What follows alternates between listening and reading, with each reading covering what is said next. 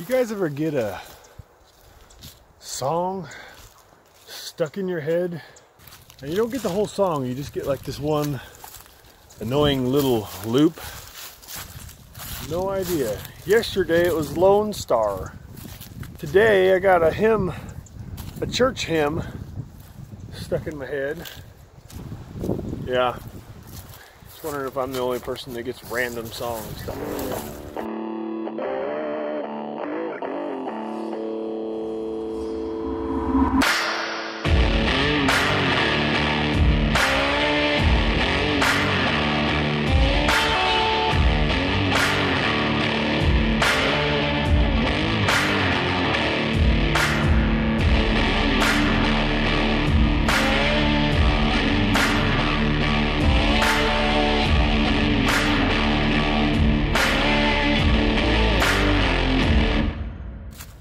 There's so much poison oak. Every one of these sticks, all this stick, that's just poison oak that hasn't bloomed out yet.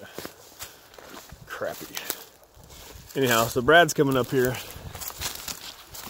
I'm gonna try to get up to some of these upper bluffs here real quick. See if I can at least find a decent trail to walk on and look for something. It'll be a couple hours before he's here.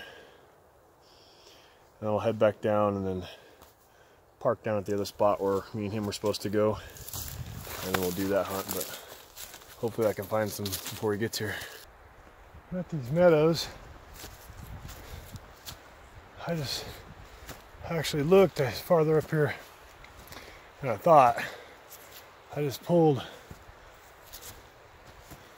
about 900 feet elevation to get up here.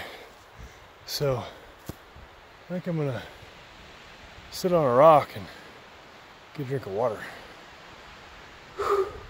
I can't believe there's not horns laying right here. This looks so good. I don't know what to say.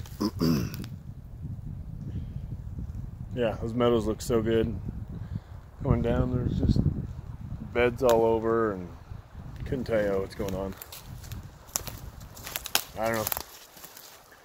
Looked as good as anything I could think to look in and deer tracks and beds and no horns. Well, I'm back down in the oak flat stuff. So it's easier walking. Still nothing.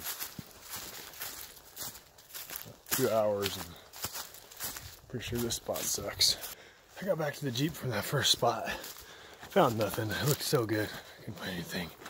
So met up with Brad and his wife Penni. Forgot to introduce you guys. I'll do that later. But dang it.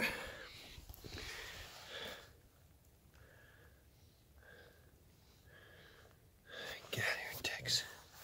Sorry about that. I had some ticks on me. So I have to introduce you to Brad and Penni later. Hopefully we'll all have a big pile of horns to show off.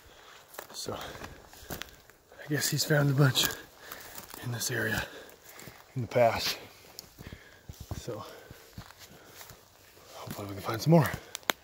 Makes me wonder how many I've got there in the last couple of. On the board.